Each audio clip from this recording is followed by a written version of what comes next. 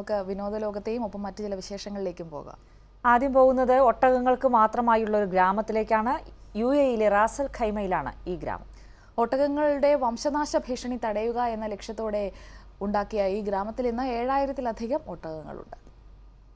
Ras al ഖൈമയിൽ നിന്നും പന്ത്രണ്ട് kilometre അകലെയാണ് സുവാൻ എന്ന ഒട്ടക ഗ്രാമം.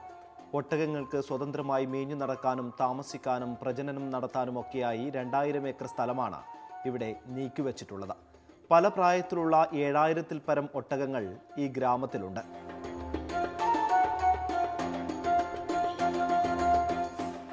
പൊക്കത്തിൽ വേർതിരിച്ചിരിക്കുന്ന ഒട്ടക കൊട്ടിലുകളാണിത്. രോഗികൾക്കും ഗർഭിണികൾക്കും കുട്ടികൾക്കും പ്രത്യേക താമസ സ്ഥലങ്ങൾ. അങ്ങനെ എല്ലാ അർത്ഥത്തിലും ഒട്ടകങ്ങളുടെ സമ്പൂർണ പരിരക്ഷ ഉറപ്പുവരുത്തിയിരിക്കുന്നു.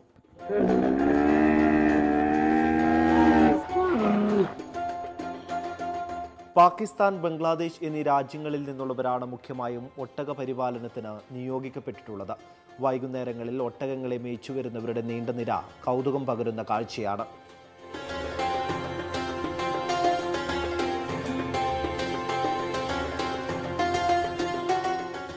ഒട്ടകങ്ങൾക്ക് വേണ്ട പച്ചിലത്തീറ്റകൾ വിൽക്കാനായി ഇരിക്കുന്ന കച്ചവടക്കാരെയും റോഡരികിൽ കാണാം.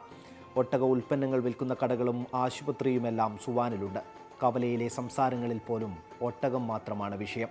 ഒട്ടകത്തിന്റെ ഓട്ട മത്സരം പിന്നെ ഒട്ടകത്തിന്റെ തീറ്റ അതിന്റെ മരുന്നുകൾ അങ്ങനത്തെ കുറച്ച് സംഭവങ്ങൾ മാത്രമേ ഇവിടെ ഉള്ളൂ.